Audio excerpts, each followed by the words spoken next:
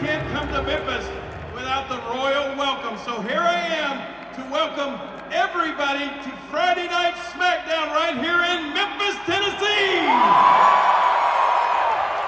Now I promised everybody in the back that there will not be a louder crowd than they're going to wrestle in front of tonight. So let's, don't make a liar out of me. Let's get loud,